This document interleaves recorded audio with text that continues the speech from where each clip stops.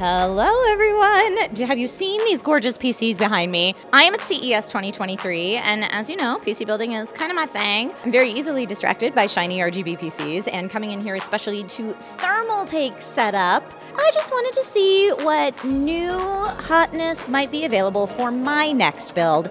And here to help walk us through everything that's going on is my good friend Mike. Mike, come on in here. Hey, hey, hey, what's up, everybody? Hi. Your CES been so far? You know, CS has been great. I, I couldn't be more excited to see you and everybody else in an offline event. Oh my God. I know. I feel like I probably get more excited about tech conventions than most people. But legitimately, this is where we get to see the products of the future, the products that are coming down the line. I know a lot of people tend to watch my CES coverage and say, thanks for showing me all the things I'll never be able to afford that won't come out for five years.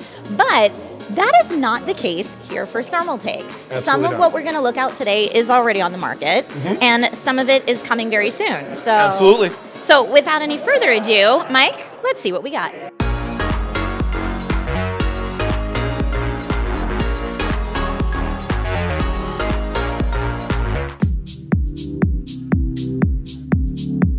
All right, now the Tower 200 immediately caught my eye because I am considering a small form factor PC for my next build, being that I have a two PC streaming setup. Mm-hmm. You know, having two full size or mid size towers on your desktop takes up a lot of space. Now, something like this that can hold a beefy 40 series card, maybe, but still looks nice and sleek and has a smaller footprint, definitely draws my eye. Tell us about the Tower 200. So we're really excited. I, I love the Tower series just on a personal level, but being able to take it to the next level with the Tower 100, doing mini ITX, we have the Tower 200 here offering micro ATX. So we're just covering more options for you, going a little bit bigger, giving you a little bit more in a nice fun little box box. Yeah, and I love that you can do the vertical mount for the 40 series here um, because a lot of people are worried, and I know my only, I've only done one build so far with the 40 series card, but I am so worried about the strain on that PCIe slot. No joke, this is a little crass, but I feel like the 40 series cards are about the size that my son was when he came out of my body originally. So they're, they're very, they're very sizable. So being able to do a vertical mount takes some of that pressure off, and just look how clean and beautiful this looks, even though it's small form factor. I'm into it. With the case itself, when you see it's also nice and convenient, a lot of the panels just pop right off just like that, and you can see all that card right there. All right, now the Series 500 panel kit is already drawing my attention because it has this little bracket for the card, which is awesome. But it seems like it's highly customizable. Is that correct? Absolutely. You have some nice advantages here with a mid-tower case. It gives some good cooling options too, with being able to fit a 360 or 420 radiator in the case itself. One of the things that we have done is though, we've perforated the power cover, gives a nice little benefit for pass-through airflow. We also offer vertical mounting options too for the graphics card, so you can turn that go vertical with an optional riser cable sold separately. And who would you say this case is meant for? Is this meant more for your first time builders, your kind of mid level builders, or everyone in between? I would definitely say this is a good first time builder case or somebody that's even seasoned that wants a nice solid mid-tower AIO type of cooling case. That has very nice airflow. And a good amount of room for the graphics card. I mean, this is Yeah. a 40 series card in here and we all like wiggle room, don't we? Everyone loves some wiggle room. Now looking at the CTE cases. We've got the 700, the 750, and the T500 as well. And Mike, what I'd love for you to explain to folks is what is the whole kind of CTE story and philosophy from an airflow standpoint? Because it's a little different than a lot of first time or early builders might be used to. One of the big directions we're going here with the centralized thermal efficiency is we want to move the CPU's location inside the case. Everybody's used to it being in that upper left corner. Yep. And by rotating the motherboard and offering vertical mounting for the graphics card at the same time, this puts the CPU more centralized into the case. And as you can see, there's plenty of airflow options as we've offered up to four different locations for up to triple 140 mounting. So you can see here, uh, you know, the motherboard is going this way. We've got the vertical mount GPU over here and the CPU, like Mike said, right here in the center. When it comes to the CTE C700, the CTE C750, um, and the CTE T500, is the major difference there the sizing we have for our fans and the amount of fans that come with the case? Desk real estate we know is important for everyone. Yes. So, and we also know a lot of people like to go big. So us at Thermaltake, our big thing is options. And a lot of this is all about giving you guys more options. So from the 750 down to the 700, we shrink it down a little bit, you know, as far as options wise, but with the 750, as you can see here, it does give you plenty of cooling options.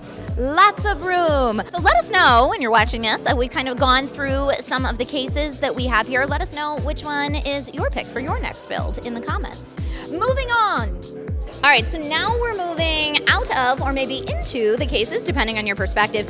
And let's talk about cooling. So, AIO cooling, aka all in one liquid cooling, is all the rage because you can get liquid cooling at a much more affordable price point. It's a lot more easy to install and upkeep.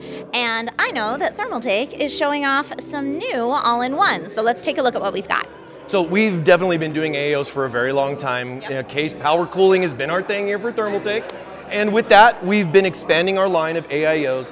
We've been doing 120s, 240s, 360 AIOs, but now- now we're going up to the 420s and doing a Woo! triple 140 because we know that that radiator space is important for your cooling, especially with today's hardware. And then we've got some beautiful stuff over here. Can you walk us through some of these? And absolutely, yeah. So if an AIO thing is maybe something you want to get your feet wet, but you really want to dive in, we have cooling in a DIY type of aspect as well, with custom distros for doing either hard tubing or soft tubing configurations, where you include the CPU and or GPU into your custom cooling loop.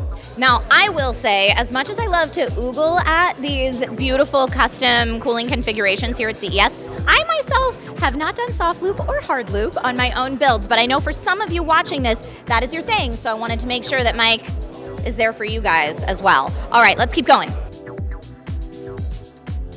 Now, liquid cooling is all the rage, but believe it or not, there's some new fun, exciting things in air cooling as well. You might be thinking fans, how exciting can that be? Fans with magnets, however, are very cool. So, talk to me about the new magnetic connectivity that we have an air cooling. So these are our new SWAFAN EX fans and they magically, magnetically connect up. Now we're gonna be offering these in a three pack, but you're gonna get six blades so that you can actually reverse these and swap them out.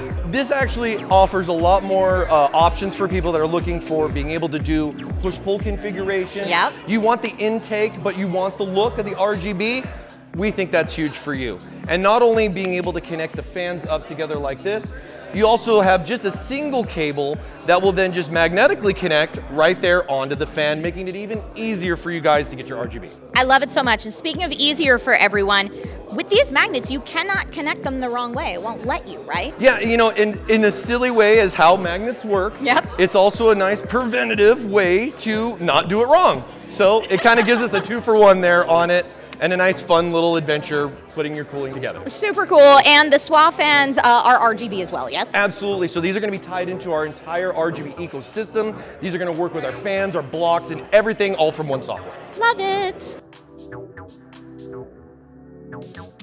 Now, DDR5 RAM is all the rage here at CES 2023, but Thermaltakes has quite some panache. I was going to say pizzazz, but I think panache is even a better word for it as far as the aesthetic goes. So, if you want an aesthetically pleasing stick of RAM, or multiple sticks of RAM, of course, this could be a way to go. So, I love the paint and the color options we have here. You've got some RGB accents on top. This feels like the luxury line, Mike. Th- These are definitely some nice classy modules here for you. This is our uh, basically what we did when we first launched our Tough RAM, and then of course bringing this into a DDR5 option with our first version, our first gen memory, and then taking it up even a step further with our new XGD5. Now this is a classy module right here. We already have some of these uh, modules out in the market now. Cool. But we are going to be expanding and offering up to 66 megatransfers per second modules coming soon in a 32 gig kit. Music to my ears. The often under, uh, undervalued, underappreciated part of uh, any PC build is the PSU. I talk about this all the time. Without any power, it doesn't even matter what other components are in your PC. And if you have a poor power supply, even if you paid for all the fanciest components, you're not going to get the max performance out of them. You're not going to get the full lifespan out of them. So let's talk the underappreciated PSU, although Thermaltake makes a lot to appreciate. Yeah, I mean, of course, power is a big thing for us here at Thermaltake. We kicked off as one of the first ATX 3.0 certified power supplies with the Gen 5 connector that everyone's talking about with all the new 40 series. And now we have our SFX. This is our 850 watt going up to a thousand watts for this, and this is a 3.0 unit with the Gen 5 connector. That's amazing. It's this big. so you want to build small and you want a 40 series card in it? This is your baby. And also, I know with the, I mean, we're not holding up all of Thermal Thermaltake's PSUs that they're showcasing here at the show, but for a lot of people who are, like myself, a little hesitant to build with a 40 series card because you may have heard about melting issues, there are ways around that, and that's to get a proper PSU. So Thermal Thermaltake has some really nice options coming out. Now, are they out on the market now or coming out soon? We definitely already have our gold units out. As you can see behind us here, we have platinum, even titanium efficiency stuff coming as well in an ATX 3.0 option with a variety of wattages to support all the cards. It's not necessarily about the 4090 sure. as much as it is about the 4070 Ti that just came out. There it is. It could be about that. And just to kind of really break it down for folks that are thinking, what should I be looking for in a PSU if I do want to do a build with a 40 series, maybe a 4090? What should they be looking for? Usually with a 4090, NVIDIA recommends you want to keep probably around 1,000 watts. You also want to keep that idea too, is where, how much is your CPU taking, the whole system. It's yeah. not just about the card as always. So make sure you do a little bit of research before you buy it. Yep. Honestly, one of my favorite parts about CES is reconnecting with people that I haven't seen maybe since the last tech convention, and especially with things being from home or kind of hybrid the last couple years. Mike, it's just so nice to see you. Thank you for being in a video on my channel. thank you for thank you for coming. I mean, I, I, we couldn't say how fantastic it is to be in an offline event, to have everybody coming in. It feels like a family reunion seeing all of our media friends come in to come check out our new stuff. Yes, and thank you for showing us all of the new shinies that Thermaltake has to offer. Folks, if you're watching this and you're planning a build or you're thinking about planning a build, let us know in the comments what is on your Thermaltake wish list. And, uh, you know, you can always hit up Mike or I on social media to ask any questions you might have. Mike, if people want to find you on social, where can they do that? Uh, all you got to do is just look me up at Thermal Mike, just about anywhere. Awesome. All right, thank you so much for watching, everybody. Stay tuned for more CES coverage.